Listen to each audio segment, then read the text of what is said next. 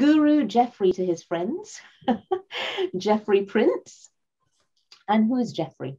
Well, Geoffrey is a mentor and author helping SMEs to grow their businesses.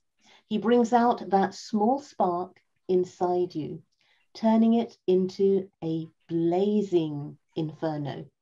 He empowers you to do the same by releasing your full potential and drawing out your own dormant and natural abilities. And not only that, but he creates results. So, Geoffrey, I turn the floor over to you.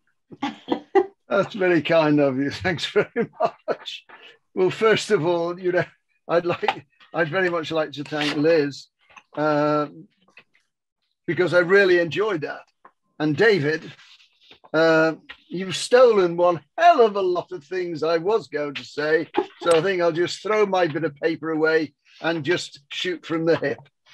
Um, first of all, as a dyslexic myself, wow. but didn't find out until I was turned 50 that I was a dyslexic.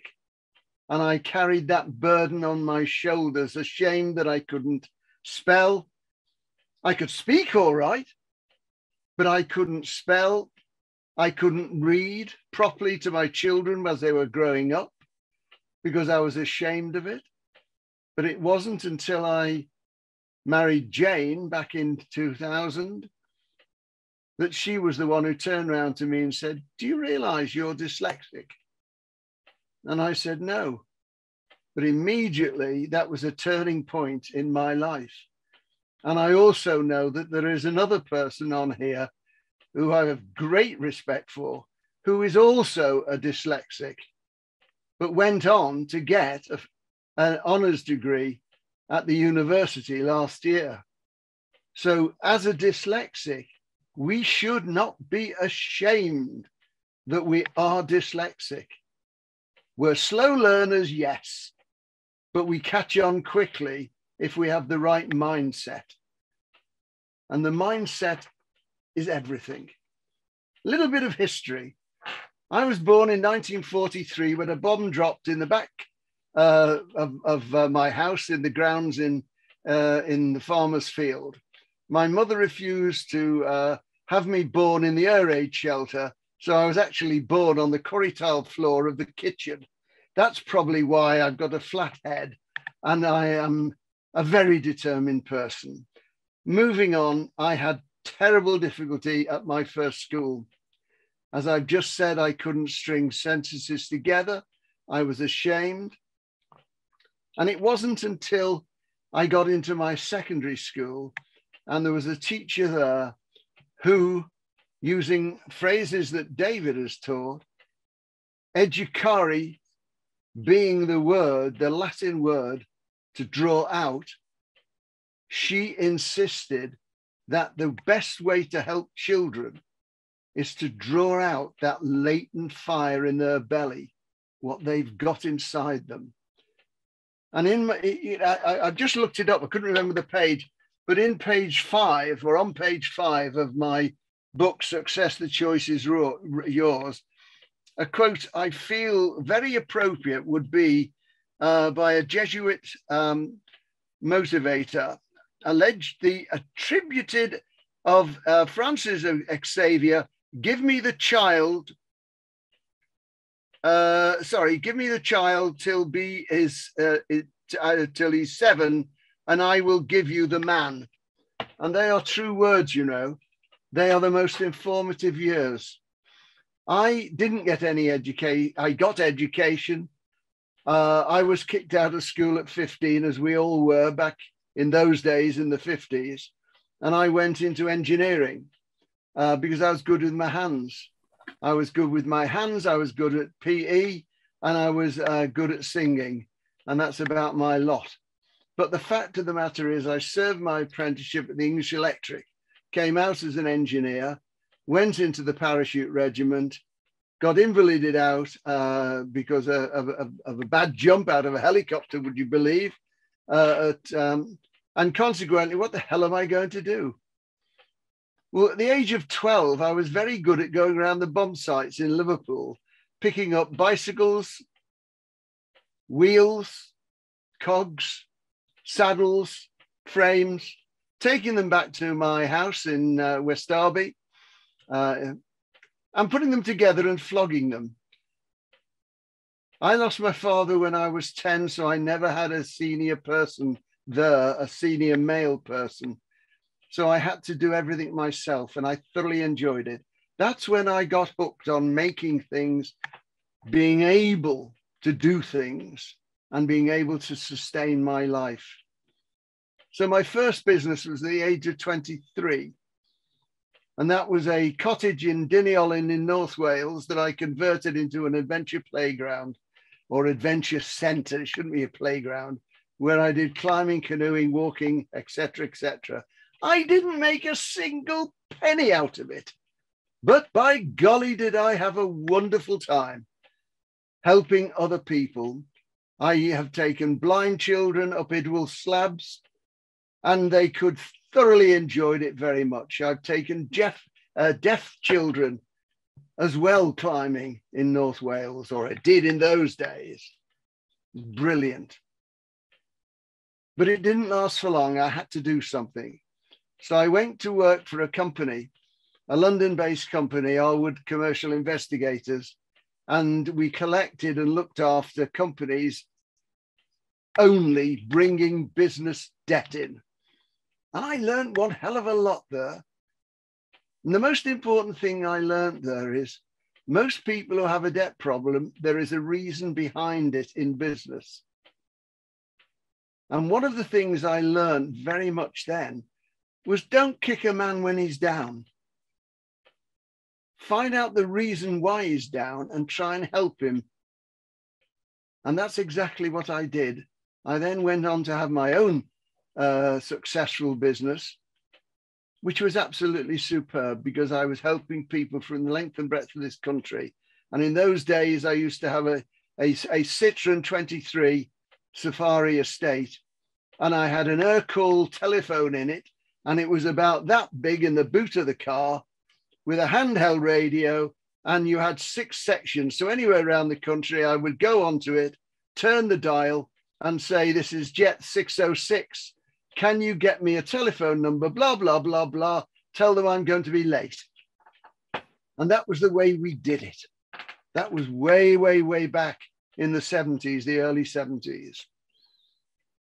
I got bored after my brother died and we came over to live in Wallasey, New Brighton, in the Wirral. But I was a fanatic because after doing my climbing, doing my parachuting, I became a diver, a sub-aqua diver, because I thoroughly enjoyed it. You know, even to this day, uh, you know, I'm an advanced instructor, etc., etc., etc., all that jazz. Uh, but the fact of the matter is, one of the things that I loved doing was trying all the time to help people. But I wanted a new boat. So I went down to a company in Birkenhead and asked them, can you this is the design of what I want. This is the mold of what I want. Can you put one together? And they said, yes. So I, I had all the, uh, the uh, gel coat, uh, fiberglass, etc., etc., etc., delivered on the Friday, two thousand pounds worth of it. Monday morning, I go down to uh, the docks where the, the company Hughcraft was uh, sited to find the padlocks on the doors was the Mersey Docks and Harbour Board hadn't been paid for six months. Cutting a long story short, by 4.30 in the afternoon, I'd bought the business, paid the debts, and I started to run that business. And we got up to a, just over a million pound turnover, which wasn't bad in 1970 odd uh, for a 33 year old. But one of the problems was uh, I was a pig headed sort of a bitch and I wouldn't listen to people. And when the, uh, and when the, um, unions came in and sat in front of me and turned around and said, You can't sack these people. I said, Well, I've sacked them. They said, Well, we'll close your business down. And this is when the Shipbuilders and Boilermakers Union at Cammell Lairds had tremendous strength. And there, you know, there were 11,000 people in that place. They closed me down all right. I put 30 people out on the dole and I ended up having to sign on myself. And on the Monday, I thought, sod this regain of soldiers. I'm not, I'm not going to stand in, Dom, in Dominic House with all my employees there trying to draw the dough. So I saw an advert in the Liverpool Echo that evening. Join Chris Gator, room 2303, 230 at the Adelphi Hotel in Liverpool. I was there at 10 o'clock on the dot when he opened the doors. On the Wednesday, I had the job. I went down to Swadlincote, and from a brand new Volvo estate with less than 800 miles on the clock, I ended up with a two year clapped out old Chevette that I had to drive around. It took me three years, but I became director of Arrow Chemicals in the end. What I'm trying to say there is basically if you're down, don't think you're down. Look in the mirror. And I've, I've said the same to a lot of people. And look at yourself very much in the mirror and say, I can do it. Not necessarily I love you, but I did this evening. You got me doing it. But the fact is, you are capable. Whatever you can do, you can do. Whatever you say you can do, you will do. Whatever you say you can't do, you won't do.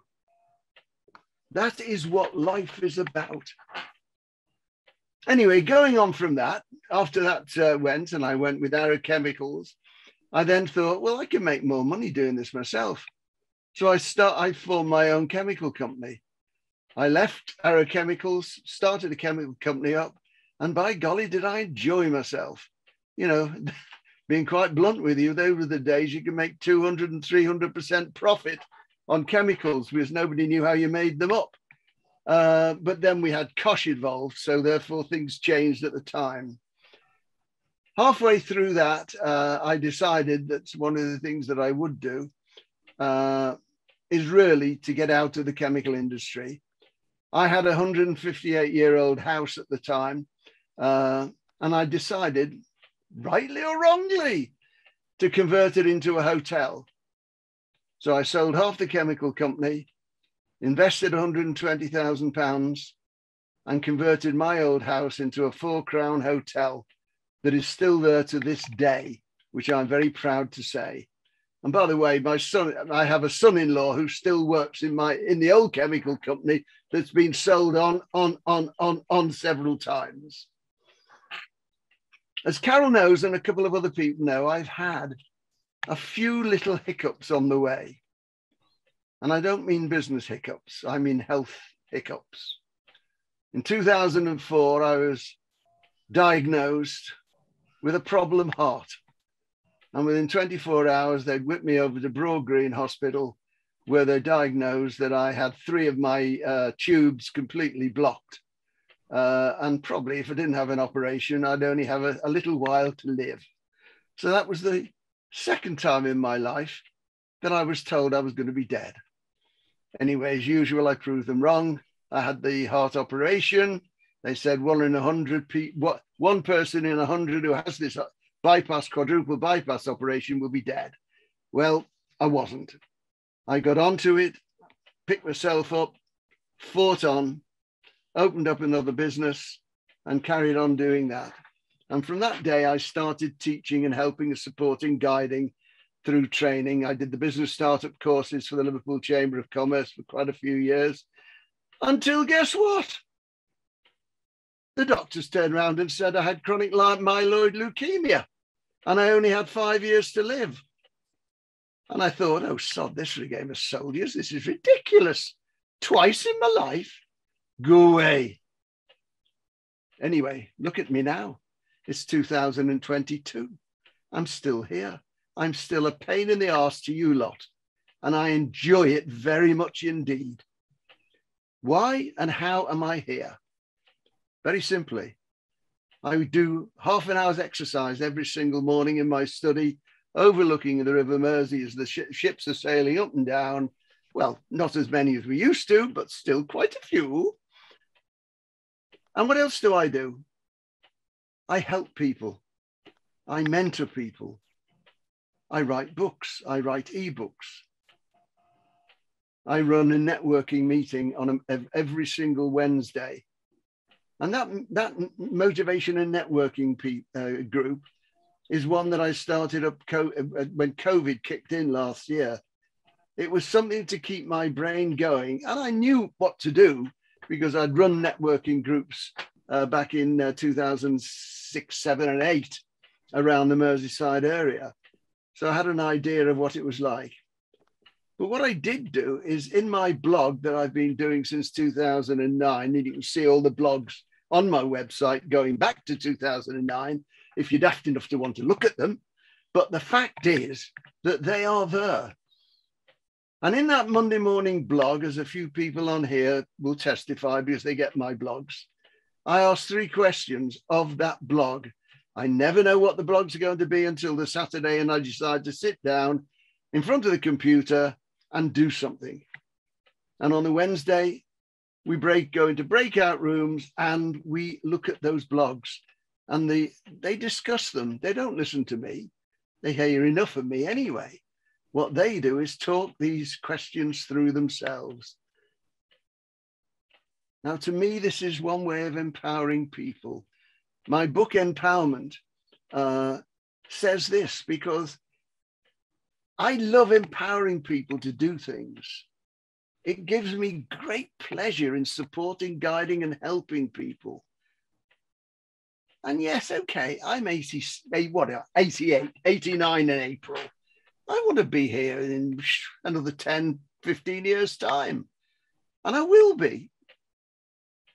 Because I'm blooming well determined to be. Because the fact of the matter is, the more people I can mentor, and when a mentee is surpassed by the mentor, that gives me great pleasure. When anybody is on my business startup course, which a few people are, I get great pleasure in being the school teacher, looking at the exercises they do and going through them. And by the way, David, your report was excellent in comparison to mine. Mine was terrible most of the time. It was he could do better. And that was written across all the things. But I'm not a hard person, so I never say this to any of my people who are on the business startup course. I help them to do it. The same way that that English teacher taught me educare, educare to draw out so I try to draw the best out of everybody. Carol said that fire in the belly is something that we all have. The problem is, with a lot of us, it's been diminished. It's been diminished by the negaholics around us, those horrible people who say you can't, you haven't got the brains, you haven't got the money, you haven't got the education. Load of utter codswallop. We all have that ability to do it. We've all got to overcome all those horrible things people say about us. I've started two businesses off with less than a hundred pounds. The chemical business only had, I had a ruddy great house. Don't get me wrong, it was a big house, but no brass in the bank, not with four children to bring up and later on a fifth one as well. Now I'm the, I, I, I, I'm in the marvelous position of having 11 grandchildren and four great grandchildren. And one of my grandchildren has just graduated from Sheffield University, which makes me feel very old indeed. But the fact is, all I'm saying, please, I love talking, supporting, and helping and guiding people. I will put my information into the chat. And if anybody would like to have a one to one with me, I'm one of these people that uses Calendly because I don't believe in people ringing me up, can I have a meeting with you? Sending me a text, can I have a meeting with you? Sending me an email, can I have a meeting with you? Because it's backwards and forwards. So I just say to them, go onto my Calendly on my website, book a 15 minute discovery. If I like what we're talking about, we'll do it for half an hour. If I don't like what, what if I don't like the cut of the jib, then I'm sorry. I'll only make it probably quarter of an hour because I'm a choosy little bugger. but there we are. I work with people who really want to learn.